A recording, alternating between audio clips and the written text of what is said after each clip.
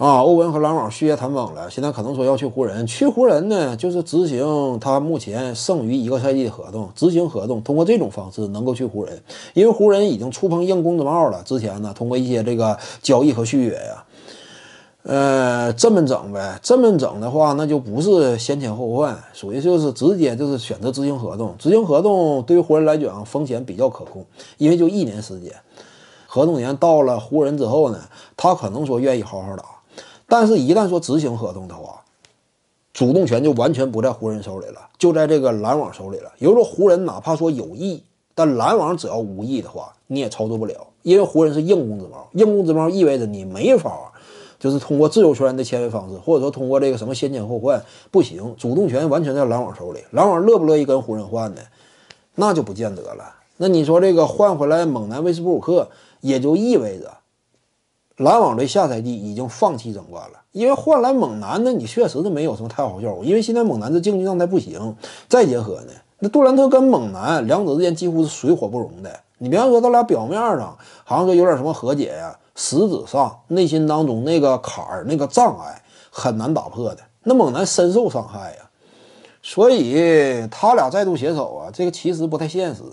如果篮网这么做的话，那基本上下一步啊，很有可能就要交易杜兰特了，因为你也要了解杜兰特本身争冠窗口啊迅速缩窄，他刚刚打完的这个季后赛啊，已经看出来明显的疲惫了，已经没有十足的竞争力。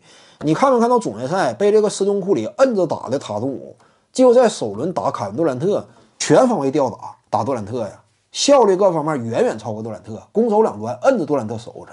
那你说杜兰特这样的还能值得仰仗吗？已经现在这个竞技实力已经开始缩水，如果你再挺一年，那等到之后的话，他更是没有战斗力。所以只要说篮网队动了，用欧文吃下猛男合同这个心思了，下一步就是交易杜兰特。交杜兰特没有否否决权，送走欧文，欧文换猛男，而且是湖人队附带选秀权的方式，回收一定的选秀权，利用欧文最后的残余价值。这么交易完了之后呢，下一步就要动这个杜兰特了。